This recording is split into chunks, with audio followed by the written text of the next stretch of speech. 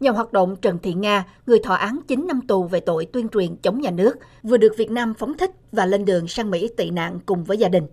Tin cho hay, bà Nga tới Mỹ lúc chiều ngày 10 tháng Giêng và định cư tại bang Georgia.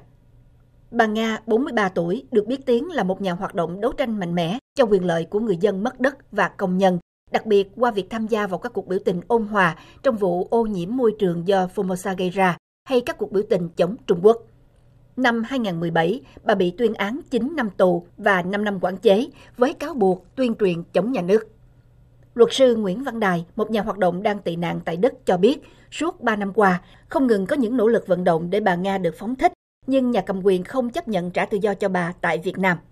Ông cho biết thêm, một số trường hợp đã xin được quy chế tị nạn ở nước ngoài, nhưng Việt Nam không chịu cấp hộ chiếu cho họ. Vì vậy, việc bà Nga được sang tị nạn tại Mỹ, theo ông, là một may mắn và ông hy vọng bà sẽ tiếp tục phát huy khả năng đấu tranh cho nhân quyền dân chủ tại Việt Nam trong thời gian tới.